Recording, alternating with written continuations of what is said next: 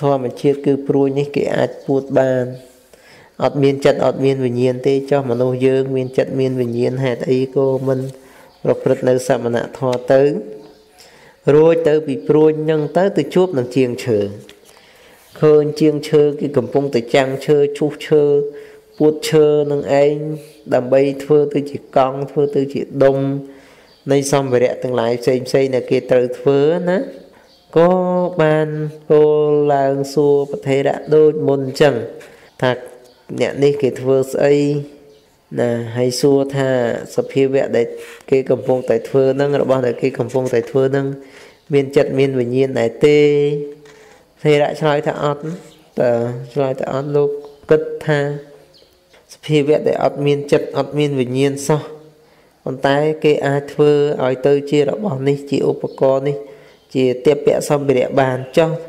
មនុស្សយើងនេះមានចិត្តមានវិញ្ញាណឲ្យត្រឡាំងហេតុអ្វីក៏មិននាំគ្នានឹងប្រព្រឹត្តនៅព្រមចរិយធម៌ហេតុអ្វីក៏មិនប្រព្រឹត្តនៅសវនធម៌ទៅបើនឹងយើងគិតមើលបើបើមិនមានឧបនិស្ស័យមិនមានបុណ្យបារមីអំពីអតីតទេធ្វើម៉េចនឹងអាចឲ្យសាមណេរនឹងចេះគិតយល់ដឹងអំពី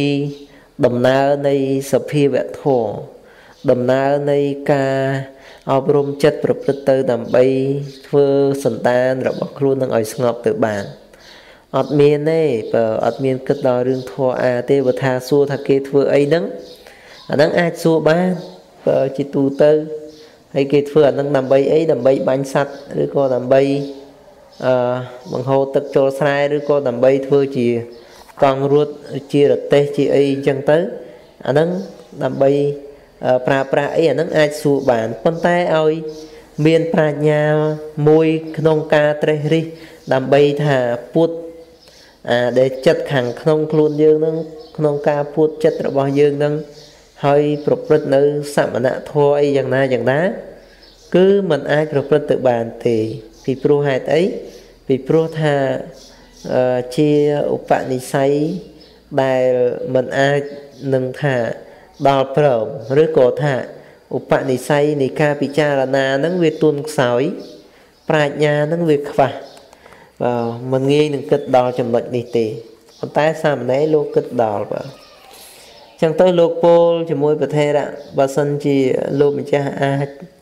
ទទួលកាន់បាតជីវររបស់លោកម្ចាស់វិញបាន ណាខ្ញុំកណាសូមប្រគេនជីវរនឹងបាតនេះចំពោះលោកម្ចាស់ហើយខ្ញុំកណានឹងត្រឡប់ទៅវិញណាហើយកាលនោះព្រះធេរៈលោកមិនប្រកាន់អីទេបើលោកមិនប្រកាន់ថាអីសាមណេរឯងទៅបុះបាញ់មិញសោះភ្លាមភ្លាមសោះហ៊ានពោលពាក្យនឹងជាមួយនឹងយើងហងលោកអត់ប្រកាន់អញ្ចឹងបើពីព្រោះលោក លោកដឹងថាសាមណេរនឹងនៅក្មេងមិនមានអ្វីដែលគួរដល់ការប្រកាន់យ៉ាងទៀតលោកជាព្រះអរហន្តលោកមិនអឺមាននៅទឹកចិត្តចាប់ថ្នាក់ឬក៏ការសពបសពោននៅក្នុងហតិរបស់លោកគឺអត់ទេបើព្រះសរិបុត្រលោកអត់មានការខឹងការក្រោតអីតទៅទៀតទេណាហើយចឹងទៅក៏ ឲ្យសាមណេរនឹងត្រឡប់ទៅវិញទៅបាទត្រឡប់ទៅវិញព្រោះលោកទទួលបាននឹងជីវរហើយចំណែកសាមណេរថ្វាយបង្គំព្រះឧបជាហើយ កាលនឹងត្រឡប់ទៅវិញក៏បានប្រាប់ថាបបិទ្ធលោកម្ចាស់នៅចម្រើន លោកម្ចាស់នាំយកអាហារមកដើម្បីខ្ញុំព្រះករុណាសូមលោកម្ចាស់នាំយករស់ត្រីឆ្ពិនចុះព្រះថេរៈពោលថាមនាលសាមណេរ យើងនឹងបានអំពីទីណា សាមណេរប្រាប់ថាបើមិនបានដោយបុណ្យរបស់លោកម្ចាស់ទេក៏នឹងបានដោយបុណ្យរបស់ខ្ញុំព្រះករុណាដែរព្រះថេរៈគិតថាអន្តរាយនឹងក៏បីមានដល់សាមណេរក្មេងដែលគួងខាងក្រៅទៅឲ្យកូនសោទៅសាមណេរហើយប្រាប់ថាមនាលសាមណេរ អ្នកបើកទ្វារបន្ទប់របស់ខ្ញុំ ហើយចូលទៅគង់ខាងក្នុងចុះសាមណេរក៏បានធ្វើយ៉ាងនោះ ហើយគួងញ៉ាំងញៀនឲ្យប្រព្រឹត្តទៅក្នុងករចកាយរបស់ខ្លួន ហើយអង្គុយពិចារណានៅអត្តភាពកណានេះគឺជាការដែលព្រះថេរៈបានអនុញ្ញាតឲ្យសាមណេរត្រឡប់មកវត្តវិញហើយលោកប្រគល់កូនសោកត់លោក បន្ទប់លោកដល់សាមណេរដោយគិតថាបើលោកនៅខាងក្រៅតែឯងចឹងទៅសាមណេរតូចនឹងអាចមាននៅអន្តរាយផ្សេងផ្សេងចឹងទៅលោកប្រគល់សោឲ្យឲ្យលោកគួងនៅក្នុងបន្ទប់របស់ព្រះថេរៈចោះសាមណេរក៏បានធ្វើតាមដំបូងមានរបស់ព្រះឧបជាបើមិនជាការចំទាស់អីទេប៉ុន្តែមុននឹង ឃ្លាតចេញមកថ្វាយបង្គំហើយនឹងក៏បានប្រាប្រធេរៈសូមលោកម្ចាស់នាំមហាមកថ្វាយខ្ញុំកណាហ្នឹងក៏បីនាំមហាដែលមានរសជាតិត្រីឆ្ពិនមកផងព្រះធេរៈពោលឡើងថាទេមិនដឹងជាខ្ញុំកណានឹងបានមកពីណាទេរស់ត្រីឆ្ពិននោះមហូបនោះអឺលោកម្ចាស់បើសិនជាមិនបានដោយសារបុណ្យរបស់លោកម្ចាស់ទេក៏បានដោយសារបុណ្យរបស់ខ្ញុំកណាដែរ គិតអញ្ចឹងបើគិតអញ្ចឹងហើយហើយចាំមើលរឿងរ៉ាវមិនដឹងថាបានមែនឬក៏មិនបានមែននឹងតិចទៀតញាតិញោមនឹងបានយល់ហើយលោកក៏ចូលមកបន្ទប់បើចូលមកបន្ទប់ទៅលោកពិចារណាបើគួងញ៉ាំងញៀនឲ្យប្រព្រឹត្តទៅក្នុងក្រចកាយគឺញ៉ាំងប្រាជ្ញាញ៉ាំងស្មារតីឲ្យកើតមាននៅក្នុងកាយរបស់លោកក្រចកាយកាយដែលសម្រេចអំពីមហាពុទ្ធរូបសំ គុំដោយធាតុដីទឹកភ្លើងខ្យល់បង្កើតទៅជារូបរាងកាយនេះដែលអាចត្រទ្រង់រូបរាងកាយបានដោយអាស្រ័យធាតុទាំងឡាយ4ហ្នឹងលោកពិចារណា នៅអត្តភាពគឺកាយរបស់លោកនឹងឯងហើយរឿងរ៉ាវយ៉ាងណាយើងស្ដាប់ជាបន្តអាសនៈរបស់សកទេវរាជក្តៅព្រោះគុណរបស់សាមណេរគ្រានោះអាសនៈរបស់សកទេវរាជ សំដែងនៅអាការៈក្តៅដោយទេជះនៃគុណរបស់សាមណេរនោះសកទេវរាជទ្រង់ពិចារណាថាតើមានហេតុអ្វីណោទើបទ្រង់ប្រេះតម្រេះឃើញថា បណ្ឌិតសាមណេរប្រគេនបាតនឹងជីវរដល់ព្រះឧបជា ហើយត្រឡប់ទៅវិញ ដោយតាំងចិត្តថា នឹងបំពេញសមណធម៌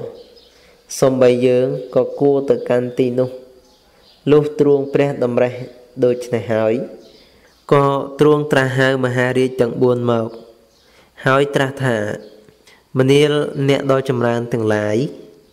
អ្នកទាំងឡាយចូលទៅដេញបាក់សីដែលធ្វើសំឡេងចោជែកចចាចនៅក្នុងព្រៃចិត្តវិហារឲ្យជិះចេញទៅ ហើយរក្សាការពារដោយជុំវិញ ត្រាស់ទៅកាន់ចន្ទៈទេវបុត្រថាមនាលចន្ទៈអ្នកចូលទប់មណ្ឌលព្រះច័ន្ទត្រាស់ទៅកាន់សុរិយៈទេវបុត្រថាមនាលសុរិយៈអ្នកចូលទប់មណ្ឌលព្រះអាទិត្យដូច្នេះហើយព្រះអង្គក៏បានទៅប្រថាប់ឈរដើម្បីការពារសាមណេរនៅក្នុងទី1 ក្នុងវិហារសំបីតែសំឡេងស្លឹកឈើទុំជ្រុះក៏មិនមាន ចិត្តរបស់សាមណេរក៏ជាធម្មជាតិមានអារម្មណ៍មូលតែមួយ សាមណេរពិចារណាអត្តភាពហើយក៏បានសម្រេចផល3ក្នុងចន្លោះវេលាផាត់នោះឯងចំណែកព្រះថេរៈគិតថា សាមណេរគង់ក្នុងវិហារយើងនឹងបានភោជន ដែលជាទីប្រាថ្នារបស់លោកក្នុងត្រកូលឯណោះដូច្នេះហើយក៏បានទៅកាន់ត្រកូលឧបថៈដែលប្រកបដោយសេចក្តីស្រឡាញ់និងសេចក្តីគោរពមួយក្នុងថ្ងៃនោះ មនុស្សទាំងឡាយបានត្រីឆ្ពិនជាច្រើន ហើយអង្គុយរងចាំមើលផ្លូវព្រះថេរៈពួកគេឃើញព្រះថេរៈកំពុងនិមន្តមកក៏ពោលថា បើពិតលោកម្ចាស់ដ៏ចម្រើន លោកម្ចាស់និមន្តមកនេះ ជាការល្អណាស់ហើយក៏និមន្តព្រះថេរៈឲ្យចូលទៅខាងក្នុង ប្រគេនយីគូនិងរបស់គួរទំពាស៊ីជាដើមហើយបានប្រគេនបិណ្ឌបាតដោយរស់ត្រីឆ្ពិនព្រះថេរៈសម្ដែងអាការៈនឹងចេញទៅ ពួកមនុស្សក៏បានប្រាប់ថាបពិតលោកម្ចាស់ដ៏ចម្រើន សូមលោកម្ចាស់និមន្តឆាន់ចុះលោកម្ចាស់នឹងបានផាត់សម្រាប់នាំទៅ ក្នុងវេលាស្រេចផាត់កិច្ចរបស់ព្រះថេរៈមនុស្សទាំងឡាយក៏បានយកភោជនដែលប្រកបដោយរស់ត្រីឆ្ពិនដាក់ក្នុងបាតពេញហើយប្រគេនព្រះថេរៈព្រះថេរៈគិតថាសាមណេររបស់យើងឃ្លានហើយក៏បាននិមន្តទៅយ៉ាងប្រញាប់ ណានេះគឺរឿងរ៉ាវបន្តមកទៀតដែលព្រះថេរៈលោកបានបញ្ជូនសាមណេរទៅហើយលោកខ្លួនឯងក៏ទៅកាន់ត្រកូលឧបថៈមួយ ដែលលោកគិតថាជាត្រកូលឧបថៈដែលអឺប្រសើរហើយជាទីស្រឡាញ់ជាទីពេញចិត្តនិងជាតកូលឧបថៈដែលយកចិត្តទុកដាក់ចំពោះព្រះថេរៈ នឹងផងដែរហើយចែកដនអីថ្ងៃហ្នឹងតកូលឧបថៈរបស់លោកនឹងក៏មាននៅអឺការចំអិនអាហារដែលប្រកបទៅដោយរសនៃត្រីឆ្ពិនហើយកំពុងតែអង្គុយរងចាំដំណើរផ្លូវមករបស់ព្រះថេរៈនឹងទៀតណានឹងគឺជាការប្រពៃណាស់ហើយចំណែកឯសាមណេរឯនោះវិញពេលដែលត្រឡប់មកដល់វត្តហើយ ចូលទៅកាន់បន្ទប់ក៏ពិចារណានៅគុណទាំងឡាយផ្សេងផ្សេងក្នុងការនោះគុណរបស់សាមណេរនឹងឯងធ្វើឲ្យក្តៅដល់ឋានរបស់សកទេវរាជរហូតដល់ទេវរាជនឹងហៅនៅមហារាជទាំង4ឲ្យមកជួយថែរក្សា ជួយការពារអន្តរាយឲ្យដេញសត្វ ស្លាបផ្សេងផ្សេងមានចាបជាដើមនឹងចេញកុំឲ្យស្រែកជជែកចចាចដើម្បីការពារនៅការប្រព្រឹត្តនៅសមណធម៌របស់សាមណេរហើយនៅក្នុងការនោះញាតិញោមពុទ្ធបរិស័ទទាំងឡាយព្រះអិននឹងក៏ទៅឲ្យចន្ទៈទេវបុត្រទប់មណ្ឌលព្រះច័ន្ទឲ្យសុរិយទេវបុត្រទប់មណ្ឌលព្រះ អាទិត្យចំណែកព្រះអង្គខ្លួនឯងហ្នឹងក៏ជួយ អន្តរាគមក្នុងកិច្ចការងារហ្នឹងគឺជួយយាមជួយថែរក្សាសាមណេរមិនឲ្យអឺមាននៅសេចក្តីអន្តរាយដល់ព្រមចរិយធម៌ទេហើយចំណែកព្រះថេរៈវិញលោកបានអឺនិមន្តទៅកាន់ផ្ទះឧបថៈគេប្រគេនចង្ហាន់រួចចឹងទៅ ចង់និមន្តមកដើម្បីយកចង្ហាន់ហ្នឹងយកមកឲ្យសាមណេរនឹងឆាន់ផង ប៉ុន្តែបរិស័ទទាំងឡាយរបស់លោកអរតនីលោកលោកម្ចាស់និមន្តឆាន់ចុះការដែលលោកម្ចាស់ឆាន់រួចហើយស្រេចហើយខ្ញុំកណានឹងមានអាហារអឺផាត់ទៀតសម្រាប់លោកម្ចាស់យកទៅអឺដើម្បីអ្នកផ្សេងនឹងមានផាត់នឹងប្រគេនលោកម្ចាស់នឹងថែមទៀតព្រះធេរៈនឹងក៏ឆាន់ទៅឆាន់រួចចឹងទៅក៏បរិស័ទទាំងឡាយនឹងរៀបចំចង្ហាន់នឹងមកប្រគេនលោកថែមទៀត ណាហើយរឿងរ៉ាវបន្តយើងស្ដាប់បន្តទៀតដែលព្រះសម្មាសម្ពុទ្ធព្រះអង្គក៏ជួយអន្តរាគមនៅក្នុងរឿងនេះដែរព្រះសាស្តាទ្រង់ធ្វើអារក្ខាសាមណេរក្នុងថ្ងៃនោះព្រះសាស្តាក៏ព្រះអង្គទ្រង់សោយអំពីព្រលឹមហើយស្ដេចចូលទៅកាន់វិហារទ្រង់ពិចារណាថាបណ្ឌិតសាមណេរឲ្យបាត និងជីវរដល់ព្រះឧបជាហើយត្រឡប់ទៅវិញ ដោយតាំងចិត្តថានឹងបំពេញសមណធម៌កិច្ចនៃបព្វជិតរបស់សាមណេរសម្រេចហើយឬក៏មិនទាន់សម្រេចទេទ្រង់ជ្រាបថាសាមណេរសម្រេចផល3ហើយក៏ទ្រង់ពិចារណាថាឧបនិស្ស័យនៃព្រះអរហន្តរបស់សាមណេរមានដែរឬទេណោះ ទ្រង់ឃើញថាមាន ហើយទ្រង់ពិចារណាថាតើសាមណេរអាចបានសម្រេចព្រះអរហន្តមុនផាត់ឬក៏មិនអាចទេក៏បានពិចារណា ទៅទ្រង់ជ្រាបថានឹងអាចគ្រានោះព្រះសម្មាសម្ពុទ្ធក៏ទ្រង់ព្រះតម្រេះយ៉ាងនេះថាសរិបុត្រនាំផាត់មកដើម្បីសាមណេរយ៉ាងប្រញាប់ដូច្នេះ សរិបុត្រអាចធ្វើអន្តរាយដល់សាមណេរនោះក៏បានតថាគតនឹងគួងរក្សាទ្វាគ្រានោះតថាគតនឹងសួរបញ្ហាសរិបុត្រ4ខកាលសរិបុត្រឆ្លើយបញ្ហាហើយ សាមណេរក៏នឹងបានសម្រេចអរហត្តមួយអន្លើដោយបដិសម្ភិទាដូច្នេះហើយក៏ស្ដេចយាងចេញចាកវិហារនោះ ទៅប្រថាប់ឈរនៅក្បែរទ្វារ ត្រាស់សួរបញ្ហា ព្រះសិរីបុត្រដែលនិមន្តមកដល់4ខព្រះថេរៈក៏ឆ្លើយ បញ្ហាដែលព្រះសាស្តាទ្រង់ត្រាស់សួរបញ្ហា4ខនោះមានពុច្ឆាវិសច្ចនាដូចតទៅនេះព្រះសាស្តាទ្រង់ត្រាស់សួរព្រះសរិបុត្រថាមនាលសរិបុត្រអ្នកបានអ្វីមក ព្រះថេរៈឆ្លើយថាបបិទ្ធព្រះអង្គដ៏ចម្រើន បានអាហារព្រះសាស្តាត្រាស់សួរថាមនាលសរិបុត្រដែលឈ្មោះថាអាហាររមែងនាំអ្វីមកព្រះថេរៈឆ្លើយថាបពុតព្រះអង្គនៅចម្រើន រមែងនាំវេទនាមកព្រះសាស្តា ត្រាស់សួរថាមនាលសរិបុត្រវេទនារមែងនាំអ្វីមកព្រះថេរៈឆ្លើយថាបពុតព្រះអង្គដ៏ចម្រើន រមែងនាំមកនៅរូបព្រះសាស្តាត្រាស់សួរថាមនាលសរិបុត្ររូបរមែងនាំអ្វីមកព្រះថេរៈឆ្លើយថាបពុតព្រះអង្គដ៏ចម្រើន រមែងនាំមកនៅផាសៈ ណានេះគឺជាសេចក្តីនៃដំណើររឿងរ៉ាវបន្តមកទៀតដែលព្រះសម្មាសម្ពុទ្ធព្រះអង្គត្រូវចុះមកត្រូវចូលព្រះកាយដើម្បីជួយសាមណេរដើម្បីឲ្យលោកបានសម្រេចនៅគុណធម៌ណាព្រះអង្គបានពិចារណារឿងរ៉ាវសពគ្រប់បែបប្រការដោយដែលបានអានមកអញ្ចឹង ហើយក៏ពិចារណាឃើញនៅសាមណេរដែលអាចសម្រេចទៅជាព្រះអរហន្តណាប៉ុន្តែអាចនឹងអន្តរាយបានបើសិនជាព្រះអង្គមិនចូលមកជួយនោះទេ គឺបានត្រឹមតែ3មគ្គ3ដំបងគឺសោតាសក្តិនិងអនាគាតែប៉ុណ្ណោះពីព្រោះព្រះឧបជាគឺព្រះសរិបុត្រនឹងអាចមកគោះទ្វារបើអាចធ្វើឲ្យសាមណេរនឹងឯង មានការរវើរវាយចិត្តបានហេតុនេះបានព្រះអង្គ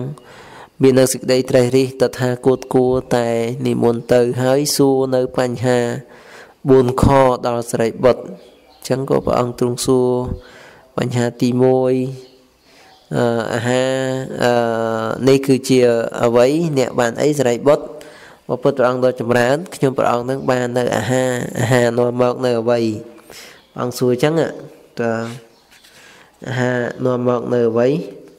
ព្រះសរិបុត្រក៏ឆ្លើយបពុទ្ធព្រះអង្គដ៏ចម្រើនអាហាររមែងនាំមកនៅវេទនាបាទហើយវេទនានាំមកនៅអ្វីទៀតសរិបុត្រវេទនានាំមកនៅរូបរូបនាំមកនៅអ្វីទៀតសរិបុត្ររូបរមែងនាំមកនៅភាសៈបាទនេះគឺជាការដែលព្រះអង្គទ្រង់ត្រាស់សួរចំពោះព្រះសរិបុត្រ ហើយសេចក្តីអធិប្បាយយ៉ាងណាយើងនឹងស្ដាប់ជាបន្តអំពីសំណួរទាំង4ប្រការដែលព្រះសម្មាសម្ពុទ្ធព្រះអង្គទ្រង់ត្រាស់សួរនេះបណ្ដាបញ្ហាទាំងនោះ មានសេចក្តីអធិប្បាយដូចនេះពិតណាស់អាហារដែលបុគ្គលអ្នកស្រែកឃ្លានបរិភោគហើយរមែងកំចាត់បងនៅសេចក្តីស្រែកឃ្លានរបស់បុគ្គលនោះ ហើយញ៉ាំងសុខ វេទនាមកឲ្យ កាលសុខវេទនាកើតឡើងហើយបុគ្គលអ្នកមានសេចក្តីសុខព្រោះការបរិភោគអាហារហើយវណ្ណៈសម្បុររមែងមានក្នុងសរីរៈវេទនាឈ្មោះថានាំមកនៅរូបដោយអាការៈយ៉ាងយ៉ាងនេះក៏បុគ្គលអ្នកមានសុខនឹងកើតសុខសោមនស្សដោយអំណាចរូបដែលកើតអំពីអាហារហើយ ដេកក្តីអង្គុយក្តី ដោយគិតថាឥឡូវនេះ អាសាតៈគឺសេចក្តីត្រេកអរកើតឡើងដល់យើងហើយ រមែងបាននៅសុខសម្ផស្សណានេះគឺជាសេចក្តីអធិប្បាយដែលព្រះសម្មាសម្ពុទ្ធព្រះអង្គទ្រង់បានសាកសួរព្រះសរិបុត្រហើយអត្ថកថាលោកក៏ពន្យល់សេចក្តីខ្លះខ្លះអំពីអាហារ ដែលព្រះអង្គទ្រង់សួរថាអាហារនាំមកនៅអ្វីនោះគឺជាទូទៅបុគ្គលយើងកាលណាដែលស្រែកឃ្លាន នៅអាហារដូចជាឃ្លានបាយឃ្លានម្ហូបឃ្លានអាហារផ្សេងផ្សេងទៀតឃ្លាននំនែកជាដើមហ្នឹងកាលណាដែលស្រែកឃ្លានហើយតែងបរិភោគបាទកាលណាដែលយើងបរិភោគទៅការដែលបរិភោគហើយរមែងបំបត្តិនៅសេចក្តីស្រែកឃ្លានអញ្ចឹងហើយអាហារហ្នឹង អាហារដែលបំបត្តិនៅសេចក្តីស្រែកឃ្លាននឹងឯងគឺវារមែងនាំមកវិញគឺសុខសុខវេទនានឹងនាំមកឲ្យបាទអញ្ចឹងបានព្រះសរិបុត្រលោកឆ្លើយថាបពុតព្រះអង្គដ៏ចម្រើនអាហាររមែងនាំមកនៅវេទនា គឺវានាំសុខវេទនានឹងមកឲ្យជាទូទៅកាលណាដែលយើងស្រែកឃ្លានអាហារប្រកាសជាទុកហើយបាទអ្នកដែលឃ្លានអាហារពេលខ្លះ ឃ្លានរហូតដល់ញ័រដៃញ័រជើងបែកញើសហូរញើសណាឬក៏សន្លប់ដោយសារអត់អាហារហ្នឹងក៏មានដែរហើយមានអ្នកខ្លះដែលមិនបានបរិភោគអាហារឲ្យបានត្រូវតាមការទេក៏អាចបាត់បង់នៅជីវិតក៏អាចបាត់បង់នៅជីវិតដោយការអត់នៅអាហារហ្នឹងឬក៏ថាកាលណាដែលបរិភោគអាហារ នឹងតិចតិចតិចតិចធ្វើឲ្យរាងកាយនឹងទ្រុឌទ្រោមចុះទៅចុះទៅ គឺមិនសូវមាននៅសេចក្តីសុខអឺដែលហៅថាសុខវេទនាទេ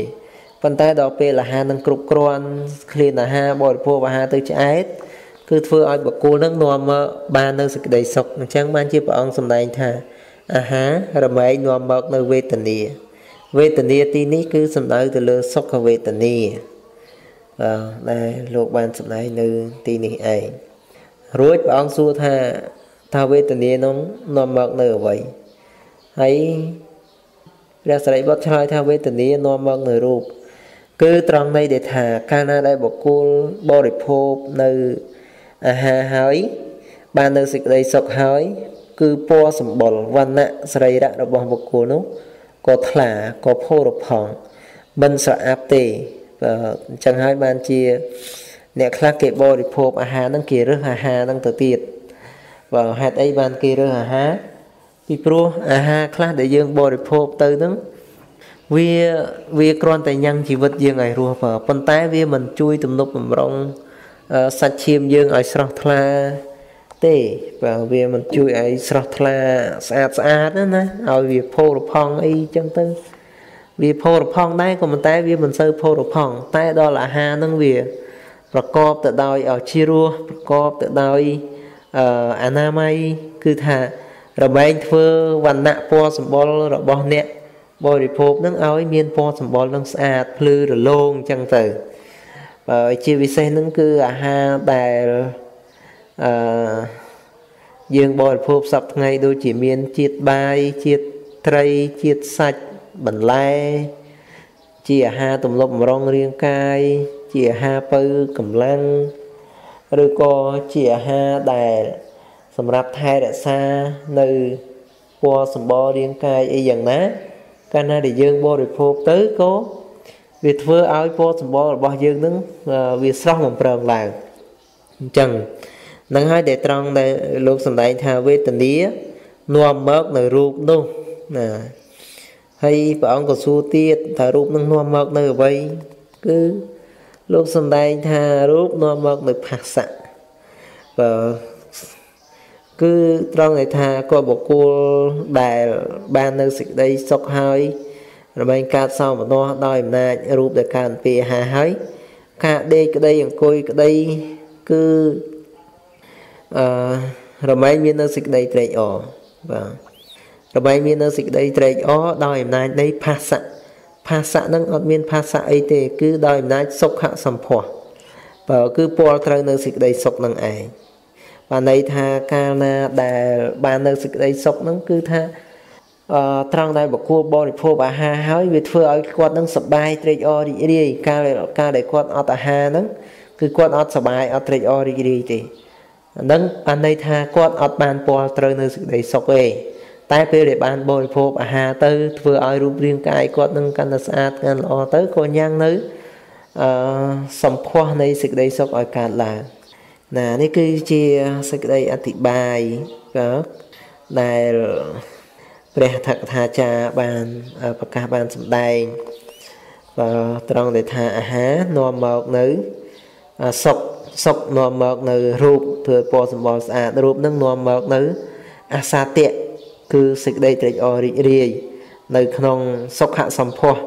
គឺការប៉ះខ្ទប់ការប៉ះពាល់ទៅដោយសេចក្តីសុខបាទហើយបន្តទៅទៀតសាមណេរបានសម្រេចព្រះអរហត្តផល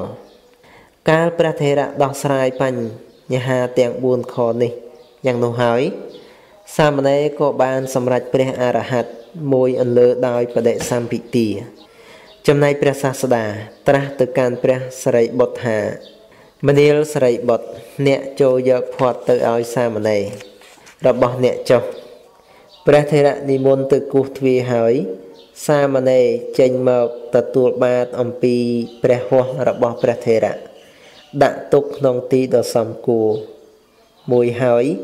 ចាប់យកផ្លិតធៀងថ្នោតបក់ប្រគេនព្រះថេរៈ គ្រានោះព្រះថេរៈពោលទៅកាន់សាមណេរថាមនាលសាមណេរអ្នកចូលធ្វើផតកិច្ចចុះសាមណេរពោលថាបបិទ្ធលោកម្ចាស់ដ៏ចម្រើនចុះលោកម្ចាស់វិញ សាមណេរព្រះថេរៈពោលថាមនាលសាមណេរអ្នកចូលឆាន់ចុះខ្ញុំករណាឆាន់ស្រេចហើយក្មេងអាយុ7ខួបបួសបាន8ថ្ងៃ សម្រាប់ព្រះអរហន្ត ដូចជាផ្កាឈូកដែលរីកក្នុងខណៈនោះ បានគួងពិចារណានៅទីដាក់ផាត់ដើម្បីធ្វើផាត់កិច្ចក្នុងខណៈដែលលោកលៀងបាតទុកដាក់ចន្ទៈទេវបុត្រក៏ប្រឡែងមណ្ឌលព្រះច័ន្ទសូរិយទេវបុត្រក៏ប្រឡែងមណ្ឌលព្រះអាទិត្យមហារាជទាំង4ដែលរក្សានៅទិសទាំង4នោះក៏ឈប់រក្សា សកទេវរាជលើកនៅការរក្សាក្នុងទីនៃខ្សែទប់ព្រះអាទិត្យក៏ជ្រេធម្មតាបណ្ឌិតរមែងទូមានខ្លួនភិក្ខុទាំងឡាយលើកទោសថា ស្រមោលជ្រេហួសប្រមាណក្រៃលែងហើយព្រះអាទិត្យក៏ជ្រេទៅហើយដែរសាមណេរទើបតែឆាន់រួច ហើយអំបញ្ញមិញនេះឯងតើរឿងនេះវាដូចម្ដេចទៅណោះ ព្រះសាស្តាទ្រង់ជ្រាបរឿងនោះហើយស្ដេចមកត្រាស់សួរថាមនាលភិក្ខុទាំងឡាយអ្នកទាំងឡាយនិយាយគ្នាអំពីរឿងអ្វីភិក្ខុក្រាបទូលថាបបិទ្ធព្រះអង្គដ៏ចម្រើន ពួកខ្ញុំព្រះអង្គនិយាយអំពីរឿងឈ្មោះនេះព្រះសាស្តាត្រាស់ថាមនាលភិក្ខុទាំងឡាយក្នុងកាលដែលបុគ្គលអ្នកមានបុណ្យបំពេញសមណធម៌ ចន្ទៈទេវបុត្រទាញទប់មណ្ឌលព្រះច័ន្ទសូរយៈទេវបុត្រទប់មណ្ឌលព្រះអាទិត្យមហារាជទាំង4រក្សានៅទិសទាំង4ក្នុងព្រៃចិត្តវិហារសកទេវរាជមករក្សាក្នុងទីនៃខ្សែទប់សំបីតថាគតមានសេចក្តីខ្វាយខ្វល់តិចដោយគិតថាយើងជាប្រពុតក៏គង់នៅមិនបាន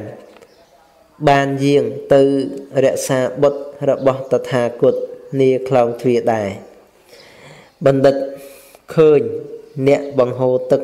កំពុងបង្ហូរទឹកអំពីប្រឡាយជាងព្រួញកំពុងធ្វើព្រួញនិងជាងឈុះកំពុងឈុះឈើហើយ តែងកាន់នៅហេតុមានប្រមាណប៉ុណ្ណេះឲ្យជាអារម្មណ៍ទូមានខ្លួនហើយរមែង កាន់យកនៅព្រះអរហន្តបាន ដោយពិតប្រកបដូច្នេះហើយ កាលនឹងទ្រង់បន្តអនុសន្ធិដើម្បីសម្ដែងធម៌បានត្រាស់ព្រះគាថានេះថាឧតកញ្ចៈនមយន្តិនេតិកាឧសុការានមយន្តិតេជនាងទារុងនមយន្តិតច្ឆកាអត្តានងតមយន្តិបណ្ឌិតាធ ម្មតាអ្នកបង្ហូរទឹកតែងបង្ហូរទឹកទៅ អ្នកធ្វើព្រួញតែងពួតព្រួញឲ្យត្រង់អ្នកចាំងឈើតែងចាំងឈើឯបណ្ឌិតទាំងឡាយតែងទូមានខ្លួនដូច្នោះដែរកណានេះគឺជាសេចក្តីបន្ទាប់បន្ទាប់មកទៀតដែលព្រះសម្មាសម្ពុទ្ធព្រះអង្គទ្រង់ត្រាស់សម្ដែងតកតងនឹងរឿងសាមណេរ ដែលប្រព្រឹត្តនៅសមណធម៌ហើយឲ្យសម្រេចដល់ភាវៈនៃខ្លួនជាព្រះអរហន្តក្រោយពេលដែលព្រះអង្គទ្រង់សួរបញ្ហាព្រះសរិបុត្រ4ខចប់សាមណេរក៏បានសម្រេចទៅជាព្រះអរហន្តព្រះសរិបុត្រក៏បានទៅគោះទ្វារបានការអញ្ញាតពីព្រះអង្គហើយទៅគោះទ្វារសាមណេរចេញមកទទួលបាត ហើយក៏បក់ផ្លិតថ្វាយប្រធេរៈប្រធេរៈមានធេរៈដីកាមនាសាមណេរអ្នកចូលធ្វើបតកិច្ចទៅចុះលោកម្ចាស់វិញខ្ញុំកណាឆាន់រួចហើយសាមណេរទទួលបាតពីប្រធេរៈហើយដាក់បាតទៅក៏ពិចារណាទីដាក់បាតរបស់លោកនឹងឯងដោយអំណាចនៃប្រាជ្ញាស្មារតីបើហើយក៏ឆាន់រួចចឹងទៅក៏បានលៀងទុកដាក់បាតបើលៀងទុកដាក់បាតទៅ ស្របតែចន្ទៈទេវបុត្រក្តីសុរយៈទេវបុត្រក្តីក៏ប្រឡែងមណ្ឌលព្រះអាទិត្យមណ្ឌលព្រះច័ន្ទទៅសកទេវរាជព្រះអង្គនឹងក៏បានឈប់រក្សាទ្វាសាមណេរនឹងទៀតហើយហើយក៏ឈប់រក្សាខ្សែទប់នៃមណ្ឌលព្រះអាទិត្យព្រះច័ន្ទហើយមហារាជទាំង4ក៏ឈប់រក្សាព្រៃជឹកខាងហើយពីព្រោះដឹងថា សាមណេរធ្វើនៅកិច្ចនៃបព្វជិតរបស់ខ្លួនឲ្យសម្រេចហើយប៉ុន្តែភិក្ខុទាំងឡាយអង្គផ្សេងផ្សេងទៀតបើលោកលើកទោសថាយីសាមណេរទំឆាន់រួចមិញសោះព្រះអាទិត្យជ្រេណានៃទៅហើយរឿងនឹងយ៉ាងម៉េចទៅបានព្រះសម្មាសម្ពុទ្ធព្រះអង្គមានព្រះពុទ្ធដីកាថាសំបីតែតថាគតជាព្រះពុទ្ធជាអ្នកមាននៅសេចក្តីខ្វល់ខ្វាយតិចគង់នឹងតថាគតមិនអាចស្ថិតនៅបាន គង់តថាគតទៅជួយដើម្បីរក្សាបុត្ររបស់តថាគតនៅខ្លោងទ្វារដែរណារួចទៅក៏ព្រះអង្គសម្ដែងព្រះធម៌ផ្សេងផ្សេងពីការបង្ហូរទឹកពីជាងពួតនៅព្រួញពីជាងឈើឈូសនៅឈើហើយក៏ព្រះអង្គទ្រង់ត្រាស់សម្ដែងនៅព្រះគាថាណាហើយព្រះគាថាហ្នឹងគឺយើងជ្រាបហើយអ្នកបង្ហូរទឹកតែងបង្ហូរទឹកអ្នកពួតព្រួញតែងព្រួច ព្រួញចាំងឈើតែងចាំងឈើឯមនិតទាំងឡាយហ្នឹងតែងទូមាននៅខ្លួនណាអធិបាយគាថាបណ្ដាបទទាំងនោះបទថាឧតកੰជាដើមសេចក្តីថាជនទាំងឡាយជីកនៅទីទួលនៃផែនដីលុបរណ្ដៅឲ្យឲ្យពេញហើយធ្វើជាប្រឡាយដំកល់ឈើធ្វើជាស្នោកហើយតែងបង្ហូរទឹកទៅ កាន់ទីដែលខ្លួនប្រាថ្នាព្រោះដូច្នោះ ទើបឲ្យឈ្មោះថាអ្នកបង្ហូរទឹកបទថាទេជានាងបានដល់កូនសមានពុទ្ធាធិបាយត្រាស់ទុកដូចនេះថា អ្នកបង្ហូរទឹកតែងបង្ហូរទឹកទៅតាមការពេញចិត្តរបស់ខ្លួនសូម្បីជាងព្រួញក៏តែងពួតព្រួញឲ្យត្រង់ចំណែកជាងចាំងឈុះកាលនឹងឈុះឈើដើម្បីជាប្រយោជន៍ដល់ទាពៈសម្ភារៈមានខ្នងកង់ជាដើម តែងពួតឈើគឺធ្វើឲ្យត្រង់ ឬកោងតាមការពេញចិត្តរបស់ខ្លួនបណ្ឌិតទាំងឡាយធ្វើហេតុមានប្រមាណប៉ុណ្ណេះឲ្យជាអារម្មណ៍ហើយញ៉ាំងមគ្គមានសោតាបត្តមៈជាដើមឲ្យកើតឡើងឈ្មោះថាទូមានខ្លួនប៉ុន្តែការសម្រេចព្រះអរហន្តហើយចាត់ថាទូមានខ្លួនបានជាស្ថាពរក្នុងការចាប់ធម៌ទេសនាជនជាច្រើន បានសម្រេចអរិយផលទាំងឡាយមានសោតាបត្តិផលជាដើមកណានេះគឺ ព្រះអង្គចង់បញ្ជាក់ថាបណ្ឌិតកាន់យកនៅហេតុដែលគេធ្វើបាទដែលគេធ្វើហេតុដែលគេធ្វើដូចជាការបង្ហូរទឹកពុតព្រួញនិងចាំងឈើជាដើមហ្នឹងបណ្ឌិតនឹងកាន់យកនៅហេតុប៉ុណ្ប៉ុណ្ណឹងជាអារម្មណ៍ហើយយកមកជាទីតាំងនៃការប្រព្រឹត្តនៅព្រមចរិយធម៌គឺកំណត់ដឹងនៅអ្វីដែលបានកើតឡើងនៅក្នុងខណ្ឌសន្តាននេះគឺកាន់យកហេតុបន្តិចបន្តួចដែលយើងគិតថាជាហេតុសាមញ្ញ ប៉ុន្តែបណ្ឌិតនឹងឯងយកអាហេតុអញ្ចឹងអញ្ចឹងយកមកហ្វឹកហាត់ទូមានខ្លួន ខ្លួននេះគឺសំដៅលើចិត្តគឺទូមានចិត្តរបស់ខ្លួនធ្វើឲ្យចិត្តរបស់ខ្លួននឹងឯងសំគួរដល់កម្មគឺការដែលទទួលយកនៅគុណធម៌ណាហើយជាអ្នកប្រកបដោយប្រាជ្ញាក៏បានសម្រេចទៅជាព្រះអរិយបុគ្គលមានសោតាសក្តិអនាគារហូតដល់ព្រះអរហន្តពេលណាដែលបានសម្រេចខ្លួនដល់ភាវៈជាព្រះអរហន្តហើយឈ្មោះថាជាអ្នកដែលបានទូមានខ្លួនហើយដោយ អឺភាពជាស្ថាពរគឺទូខ្លួនទូមានខ្លួនបានជាស្រេចគណៈការសិក្សាក្នុងថ្ងៃហ្នឹងប៉ុណ្ណឹងចុះថ្ងៃក្រោយចាំបន្តរឿងផ្សេងទៀតរឿងទី6អានឹងទី7ជាដើមបន្តរឿងទី5ហ្នឹងក៏បញ្ចប់ត្រឹមប៉ុណ្្នឹងឯងបាទគណៈនៅក្នុងថ្ងៃនេះគឺជាថ្ងៃច័ន្ទ4កើតខែពិសា ឆ្នាំអសាញ់បញ្ញស័កពុទ្ធសករាជ2556ណាត្រូវនឹងថ្ងៃទី13ខែ5ឆ្នាំ2010 13ណាគឺជាថ្ងៃដែលយើងត្រូវស្ដាប់សិក្សានៅក្នុងអឺកម្ពីធម្មបទ ជាបន្តពីថ្ងៃមុនណាថ្ងៃមុនយើងបាន ស្ដាប់សិក្សារឿងរបស់អឺបណ្ឌិតសាមណេរដែលជាសាមណេរមួយអង្គគួរឲ្យមាននៅសេចក្តីជ្រះថ្លា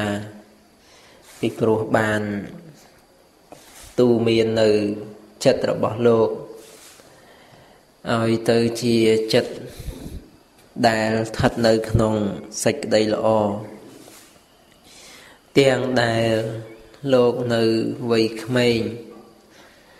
ណាគួរជាទីជ្រះថ្លារបស់ពុទ្ធបរិស័ទនិងជាទិដ្ឋានុកតិដ៏ប្រសើរសម្រាប់ជីវិតរបស់យើងគ្រប់គ្រប់គ្នាណា ហើយចំណែកខាងកុសលធម៌នៅក្នុងណែព្រះពុទ្ធសាសនានេះក៏ព្រះសម្មាសម្ពុទ្ធព្រះអង្គមិនបានរើសបុគ្គលចាស់ឬក៏ក្មេងទេឲ្យតែ អ្នកនោះមាននៅសទ្ធាហើយក៏អាចនឹងទទួលយកនៅសភាពនៃគុណធម៌បាន គ្រប់អន្លើទាំងអស់ហើយ តទៅទៀតនេះយើងនឹងអឺស្ដាប់រឿងមួយទៀតគឺរឿងទី6តកតងនឹងព្រះថេរៈគឺព្រះលក្ខណ្ឌកៈផតិយៈកណាដែលប្រធេរៈនេះក៏ជាប្រធេរៈមួយអង្គដែលចេះអត់ធន់ណាចំពោះអឺ ការនិន្ទាអំពីអ្នកដតីហើយក៏ជាព្រះធេរៈមួយអង្គដ៏ប្រសើរដែលបានចាក់ធ្លុះនៅអរិយសច្ចធម៌យ៉ាងណាយ៉ាងណាយើងនឹងស្ដាប់រឿងនេះដូចតទៅសាច់ក្តីខាងដើម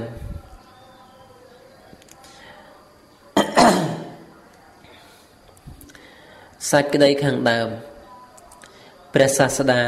កាលគួងនៅក្នុងវត្តចេតពុន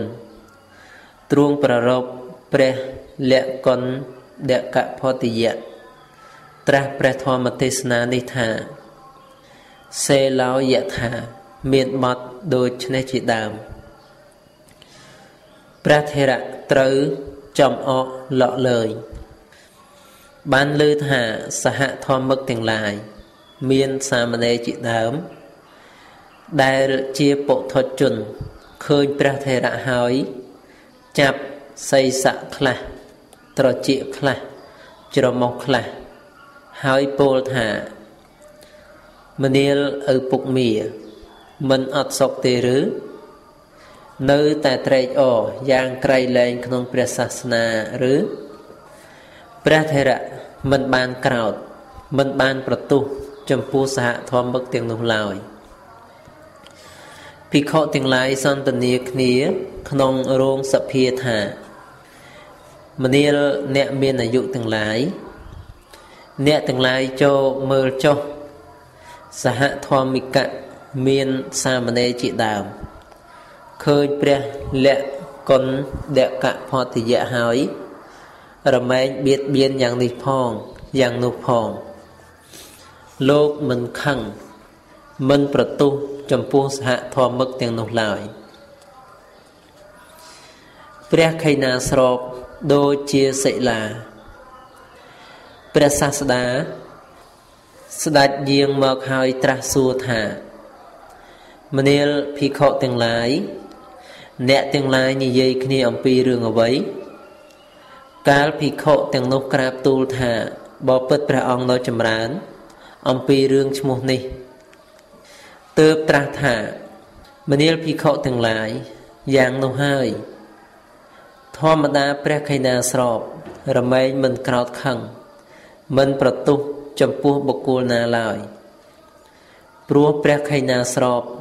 មិនកំរើកមិនញាប់ញ័រដូចជាភ្នំថ្មតាន់ដូចនេះហើយ កាលនឹងទ្រួងបន្តអនុសន្ធិ ដើម្បីសំដែងធម៌ទើបត្រាស់ព្រះគាថានេះថាសេឡោយៈថាអេកកណោវាតេអ្នកអ្នកសម័យរតិអេវੰនិន្ទាបសង្សាសុអ្នកសំមិញចន្តិបណ្ឌិតា ភ្នំថ្មតាន់មិនរំភើបព្រោះខ្យល់ដូចម្ដេចមិញ បណ្ឌិតទាំងឡាយក៏មិនរំភើបព្រោះពាក្យតេះដៀលនិងពាក្យសរសើរជាដើមដូច្នោះដែរអធិប្បាយគាថាបណ្ដាបទទាំងនោះបទថានិន្ទាបសង្សាសុនេះព្រះមានប្រភិកទ្រង់ត្រាស់សម្ដៅយកលោកធម៌តែពីរបទក៏ពិតមែនប៉ុន្តែ ក៏បីជ្រាបសេចក្តីដោយអំណាចនៃលោកធម៌សំបីទាំង8អធិប្បាយថាដូចភ្នំថ្មតាន់មិនមានប្រហោងរមែងមិនកំរើក គឺរមែងមិនរំជួយ មិនញាប់ញ័រដោយសារខ្យល់មានខ្យល់ដែលបក់មកអំពីទិសខាងកើតជាដើមយ៉ាងណា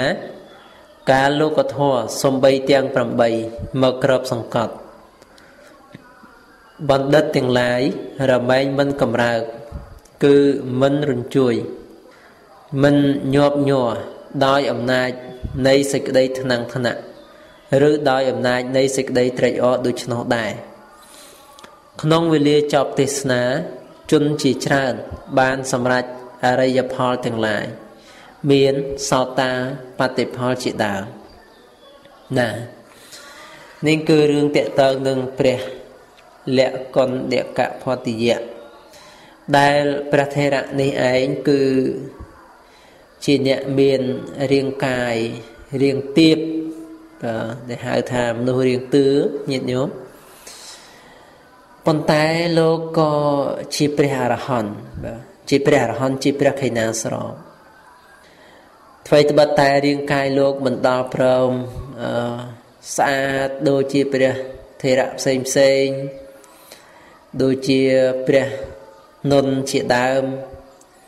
ព្រះសរិបុត្រព្រះមុខលៀនយ៉ាងណាប៉ុន្តែលោកក៏ជាព្រះអរហន្តមួយអង្គដែរតែភិក្ខុនិងសាមណេរតូចតូចដែលជាពុទ្ធជនមិនបានដឹងអំពីគុណធម៌ដែលមាននៅក្នុង សន្តានរបស់លោក នៅក្នុងចិត្តរបស់លោកខ្លួនរបស់លោកនោះក៏បានទៅចាប់លោកទៅចាប់សីស័កនឹងអែលក្បាលញាតិញោមនឹងចាប់ស្រុកតិចបិចមុខបិចក្រោយមានចំមុះអីជាដើមធ្វល់ឬក៏យ៉ាងណាយ៉ាងណាដែលជាការលេងដែលជាការលេងសើចប៉ុន្តែ ទឹកចិត្តរបស់ព្រះថេរៈនឹងលោកអត់មានបន្ទុះសារាយលោកអត់ខឹងលោកអត់បន្ទុះលោកអត់សារាយចំពោះសហធម្មឹកនឹងទេ រហូតដល់ភិក្ខុទាំងឡាយនឹងឯងលោកមាននៅសេចក្តីអស្ចារ្យក្នុងចិត្តបានសន្ទនាគ្នាក្នុងរោងធម្មសភាថាមនាលអ្នកមានអាយុទាំងឡាយអ្នកទាំងឡាយនឹងចូលមើលទៅព្រះ លក្ខន្តិកៈផតិយៈនេះ គឺថាសហធម្មឹកមានសាមណេរជាដើមនឹងប្រឡែងលេងបៀតបៀនលោកយ៉ាងណាយ៉ាងណាដោយការចាប់នៅច្រមុះឬក៏បិចស្លុតតិចយ៉ាងណាយ៉ាងណា ចាប់សីស័កយ៉ាងណាយ៉ាងណា គឺលោកអត់មានខឹងអត់មានបន្ទុះសារាយទេណាព្រះសម្មាសម្ពុទ្ធក៏ព្រះអង្គទ្រង់យាងមក ព្រះអង្គក៏ត្រាស់សួរភិក្ខុទាំងឡាយនឹងក៏ឆ្លើយតាមរឿងរ៉ាវបានព្រះអង្គក៏មានពុទ្ធិកាមនាលភិក្ខុទាំងឡាយធម្មតាព្រះខៃណាស្របរមែងមិនក្រោតខឹងមិនបន្ទោសចំពោះបុគ្គលណាឡើយពីព្រោះហេតុអីពីព្រោះថាក្នុងសន្តានរបស់ព្រះខៃណាស្របនេះឯងប្រៀបដូចជាថ្មតាន់បាទ ព្រះអង្គបញ្ជាក់ថាប្រៀបដូចជាដុំថ្មតាន់ដែលមិនមានប្រហោងខាងក្នុងអញ្ចឹងធ្វើម្ដេចនឹងកម្រើកនឹងញាប់ញ័រដោយខ្យល់ដែលបក់មកអំពីទិសទាំងឡាយចឹងហើយបានជាព្រះអង្គទ្រង់ត្រាស់សម្ដែងប្រគីថាសេឡោយថាអេកខណោវាតេអ្នកអ្នកសមរតិតគឺថាអឺ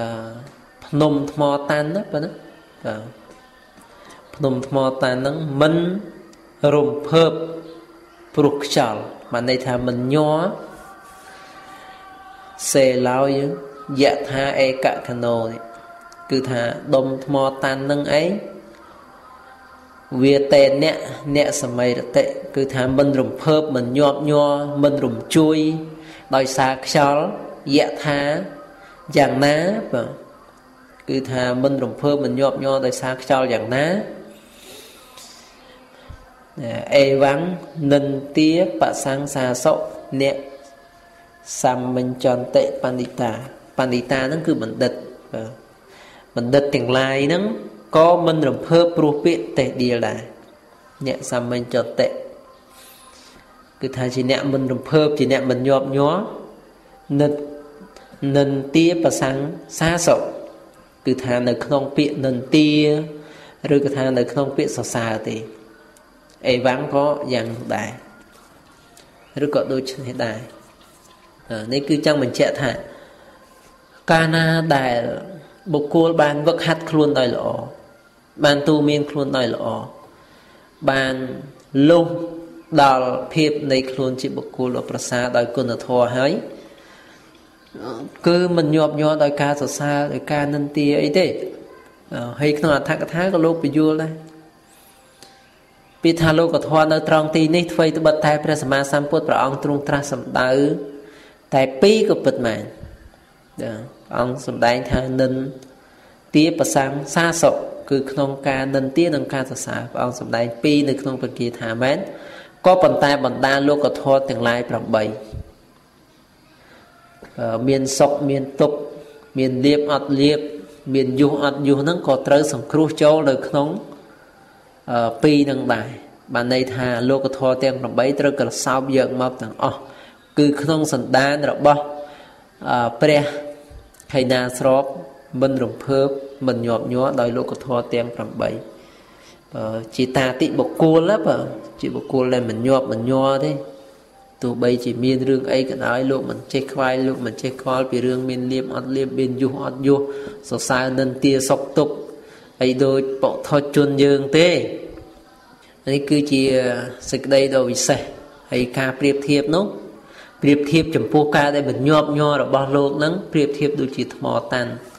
ដែលมันមានប្រហោងខាងក្នុងអញ្ចឹងទោះបីជាខ្យល់បក់មកពីទិសខាងលិចខាងកើតខាងជើងខាងត្បូងណាណាក៏ដោយ គឺថាมันអាចធ្វើឲ្យដុំថ្មតាន់នឹងឯងញ័រទៅបានទេរំជួយទៅបានទេដោយអំណាចអីដោយដោយអំណាចភាពរឹងមាំបាទប៉ុន្តែព្រះខិណាស្របលោកមិនញាប់ញ័រដោយអំណាចអីគឺដោយលោកកាត់ផ្ដាច់ឬគល់នៃការញាប់ញ័រដូច្នេះលោកអត់មានសេចក្តីត្រេកអរអត់មានសេចក្តីថ្នាំងថ្នាក់ទេអញ្ចឹង អ្នកដែលមិនញាប់ញ័រដែលមិនថ្នាំងថ្នាក់នេះគឺជាការប្រសើរពីព្រោះមនុស្សយើងភាកច្រើន អ្នកណាគឺចង់បានលៀបបានយុះណាបាទថែមទាំងលៀបយុះខ្លះហ្នឹងមិនប្រកបទៅដោយធម៌ហ្នឹងក៏នៅតែមុជក្បាលទៅដែរណានេះគឺជារឿងទី5មួយអាប៉ុណ្្នឹងចាស់ព្រោះมันជាច្រើនអីទេ ណាហើយបន្ទាប់ពីដែលព្រះអង្គសម្ដែងធម៌ទៅជនជាច្រើន បានសម្រេចនៅអរិយធម៌ទាំងឡាយមានសោតាបានជាដើមណាហើយតទៅទៀតនេះគឺរឿងទី7រឿងមេត្តារបស់នាងកាណា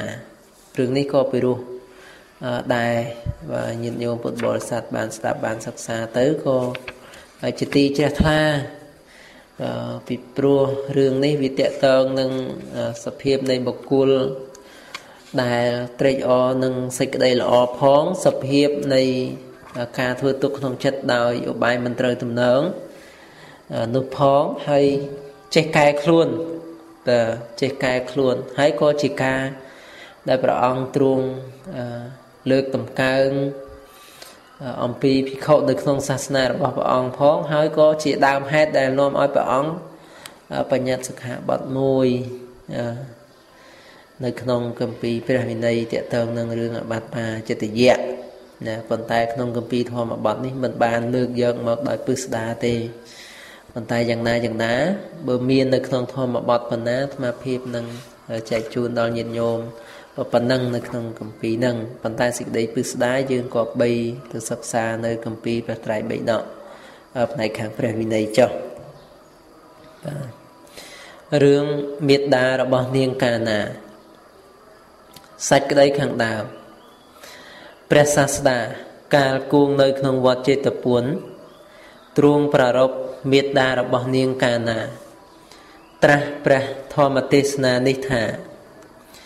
យថាបិរហតោកែមភីរោមានបត់ដូចនេះជាដើមរឿងមានមកយ៉ាងពឹស្ដានៅក្នុងព្រះវិន័យនោះឯងនាងកាណា ជេភិក្ខុក៏ក្នុងគ្រានោះមេត្តារបស់នាងកាណា ធ្វើនំដើម្បីឲ្យនាងកាណាកុំឲ្យនាងធ្វើដំណើរទៅកាន់ត្រកូលស្វាមីដោយដៃទទេហើយបានប្រគេននំចំពោះភិក្ខុ4រូបដល់ទៅ4ដងព្រះសាស្តាក៏ទ្រង់បញ្ញត្តិសិក្ខាបទព្រោះរឿងនោះ កាលស្វាមីរបស់នាងកាណាយកភរិយាថ្មីមកនាងកាណាបានស្ដាប់រឿងនោះហើយទើបជេរផ្ដាសាពួកភិក្ខុដែលខ្លួនឃើញហើយឃើញហើយថាការគ្រប់គ្រងផ្ទះរបស់យើងភិក្ខុទាំងនេះធ្វើឲ្យវិនិច្ឆ័យភិក្ខុទាំងឡាយមិនអាចនិមន្តទៅកាន់ផ្លូវនោះបាន នាងកាណាបានសម្រេចសតតាបតិផលព្រះសាស្តាទ្រង់ជ្រាបរឿងនោះហើយទើបស្ដេចយាងទៅកាន់ទីនោះមេត្តារបស់នាងកាណាថ្វាយបង្គំព្រះសាស្តាហើយនិមន្តព្រះសាស្តាឲ្យគង់លើអាសនៈដែលខ្លួនក្រាលទុកហើយបានថ្វាយយេគូនិងរបស់គូទំពាចំពោះព្រះសម្មាសម្ពុទ្ធ ព្រះសាស្តាទ្រង់សោយព្រះក្រយាពេលព្រឹករួចហើយ ត្រាស់សួរថានាងកាណាទៅណាមេត្តានាងកាណាឆ្លើយថាបពុតព្រះអង្គដ៏ចម្រើន នាងឃើញព្រះអង្គហើយ មានសេចក្តីអៀនខ្មាស់ឈរយំនៅខាងក្រៅព្រះសាស្តាត្រាស់សួរថាព្រោះហេតុអ្វីមេត្តានាងកាណាឆ្លើយថា បពុតព្រះអង្គដ៏ចម្រើន នាងបានជេរផ្ដាសាពួកភិក្ខុព្រោះហេតុនោះ នាងឃើញព្រះអង្គហើយទើបមានសេចក្តីអៀនខ្មាស់ឈរយំនៅខាងក្រៅគ្រានោះព្រះសាស្តាទ្រង់បញ្ជាឲ្យហៅនាងកាណាមកហើយត្រាស់សួរថាមនាលនាងកាណាព្រោះហេតុដូចម្ដេចនាងឃើញតថាគតហើយអៀនខ្មាស់ ឈរយំយ៉ាងនឹងគ្រានោះមេត្តារបស់នាងកាណា ក្រាបទូលនៅអំពើ ដែលនាងធ្វើឲ្យឲ្យទ្រង់ជ្រាបគ្រានោះព្រះសាស្តាទ្រង់ត្រាស់ទៅកាន់មេត្តារបស់នាងកាណាថាមនាលនាងកាណមេត្តា សាវកទាំងឡាយរបស់តថាគតកាន់យកនៅវត្ថុដែលនាងឲ្យ ឬក៏កាន់យកនៅវត្ថុ ដែលនាងមិនទាន់ឲ្យ